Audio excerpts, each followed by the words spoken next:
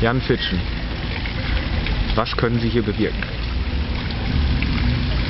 Europameister. Mal die vorsichtige Zielstellung.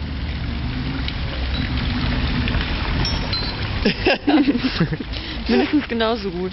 Mindestens genauso gut. Mindestens. Weltbombe. Mm, nein.